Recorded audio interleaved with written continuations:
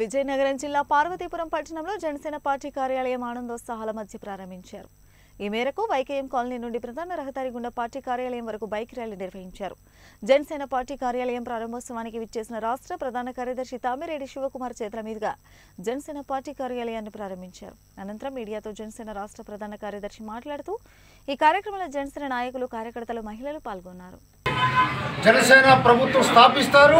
Already Shanmukha వ్యూహం అని పవన్ కళ్యాణ్ గారు మొన్న ఆవిర్భావ సభలో చెప్పారు. అధికారంలోకి వచ్చాక నేను ఏం చేయబోతున్నాను? ఏ రకంగా అభివృద్ధి చేస్తాను ఈ రాష్ట్రాన్ని?